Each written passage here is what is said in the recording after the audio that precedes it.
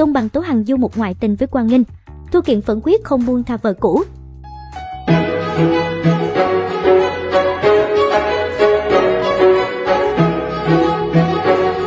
Lý hôn, lý hôn 早都可以，什么时候都可以，我就可怜孩子，知道吧？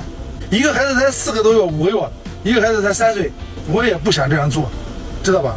Vừa ly hôn đã bị Phan Bách Thấp chuẩn bị đón vợ mới. Trước đó,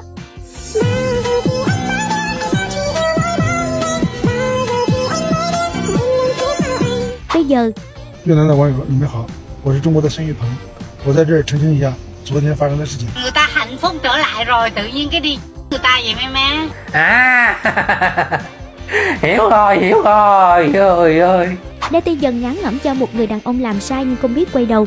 Cố chấp bao biện cho hành động tương tác vợ con. 你们都不会换位思考一下，我为啥成为这样？送花不接受，带着孩子一块儿去。 Tôi đau đớn, tôi gục ngã.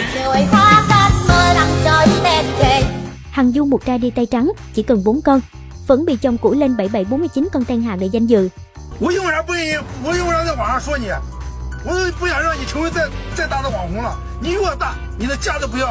Bao nhiêu thứ biết là đang rất là rối tung lên rồi, đang biết là làm loạn hết lên rồi nhưng vẫn rất là ủng hộ và đã giúp Hằng, mọi người đã giúp Hằng để Hằng không bị bó buộc vô cái đó nữa.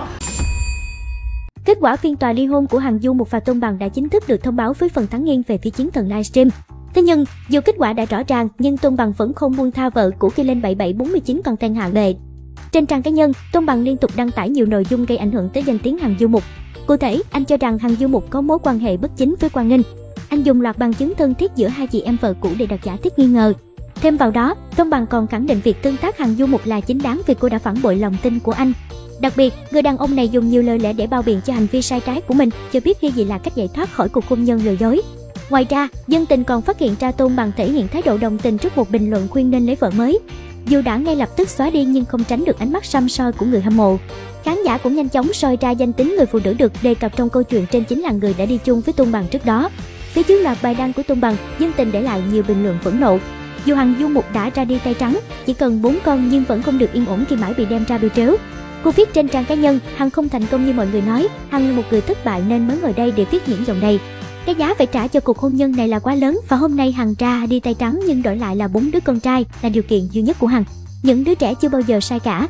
Trước đó, ông Nguyễn Công Hảo, bố của Hằng Du Mục cũng vui mừng thông báo kết quả trên trang cá nhân, Hằng Du Mục đã được quyền nuôi hai con nhỏ và tất nhiên hai con lớn cũng sẽ theo mẹ. Mình đã bật khóc như con nít khi con báo tin. Sau khi Hằng Du Mục công khai những hình ảnh bị chồng tương tác, cô tuyên bố muốn ly hôn và mong muốn được nhận nuôi cả bốn đứa trẻ.